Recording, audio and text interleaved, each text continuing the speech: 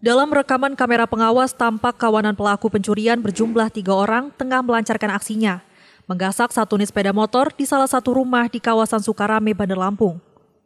Dengan cara mengendap-endap, para pelaku dengan santai membobol kunci gerbang rumah dan membawa lari sepeda motor yang tengah terparkir. Dari bukti rekaman itulah, satuan dari Satreskrim Polresta Bandar Lampung berhasil membekuk satu di antara pelaku berinisial FAS warga Lampung Tengah serta membekuk dua tersangka lain berinisial YS dan SY setelah melakukan aksi serupa di lokasi berbeda. Kasat Reskrim Polresta Bandar Lampung Kompol Devi Sujana menuturkan bahwa dalam melancarkan aksinya, ketiga pelaku sengaja berkeliling untuk mencari sasaran pencurian. Dan dari pengungkapan ini, polisi juga menyita sejumlah barang bukti, di antaranya sepeda motor hasil curian dan kunci letter T. Mereka hunting, ya.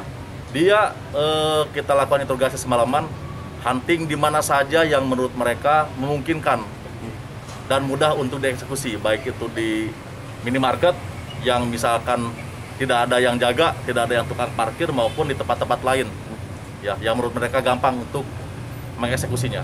Dari interogasi awal sudah berapa TKP, Bang? Ini lupa nih, oh, ini ini tiga, ini dua, ini ini lupa malah.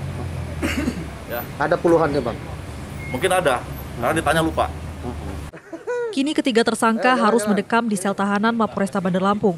Sementara polisi juga masih melakukan pengembangan untuk mengejar para pelaku lain atau rekan dari para tersangka. Roma Fria Idam, Kompas TV, Lampung.